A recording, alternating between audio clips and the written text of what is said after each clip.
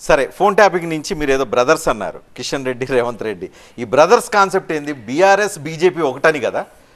అదే ప్రజలు నమ్మారు? కాబట్టి అదే ప్రజలు నమ్మారు కాబట్టి మొన్న మీకు ఓట్లే లేదు అదే బీజేపీ బీఆర్ఎస్ ఒకటి కాబట్టే ఇవాళ కవిత గారు కేసు అయింది కవిత గారి మీద జైలు కూడా వెళ్ళారు బీజేపీ బీఆర్ఎస్ ఒకటి కాబట్టే ఇవాళ రేవంత్ రెడ్డి గారు మాట్లాడుతుంటే ప్రజలు నమ్మట్లేదు. ఎందుకంటే చూడండి మీరు ఏం మాట్లాడుతున్నారు ఆయన.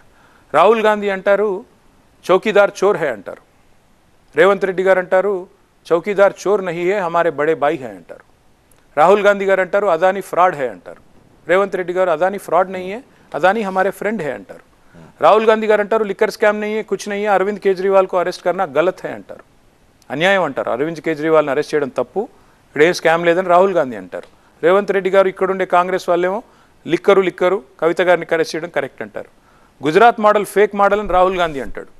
రేవంత్ రెడ్డి ఏమంటాడు? గుజరాత్ మోడల్ బెస్ట్ మోడల్ ఉన్కే నక్షే కదం పే చెలెంగే అంటే నేనేమంటున్నా రజనీ ఇవాళ ఎవరు ఎవరి కోసం పనిచేస్తున్నారు అసలు రేవంత్ రెడ్డి గారు రాహుల్ గాంధీ పార్టీలో ఉన్నారా మోడీ పార్టీలో ఉన్నారా ఏం జరుగుతుంది అసలు ఈ రాష్ట్రంలో నేను ఇప్పటికి పదిహేను సార్లు అన్నాను ఈ పార్లమెంట్ ఎన్నికల తర్వాత రేవంత్ రెడ్డి గారు జంప్ అవుతారు బీజేపీలోకి ఆయన అన్ని అడ్డమైన విషయాలు అన్నిటి మీద మాట్లాడతాడు. ప్రతి దాని మీద స్పందిస్తాడు. నెక్కర్లు అంటాడు చెడ్డీలు అంటాడు అన్ని అంటాడు. కానీ నువ్వు ఉంటావా కాంగ్రెస్లో పోతావా అంటే మాత్రం ఉలుకులేదు పలుకులేదు ఎందుకు? ఎందుకు